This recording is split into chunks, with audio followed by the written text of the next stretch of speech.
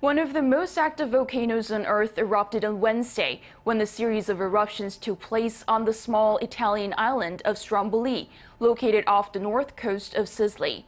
The National Institute of Geophysics and Volcanology said the two primary explosions happened just before 5 p.m. local time. Firefighters were deployed to extinguish fires started by the eruption, while a helicopter was dispatched to rescue hikers. Two people were injured, with tourists taking shelter in the sea.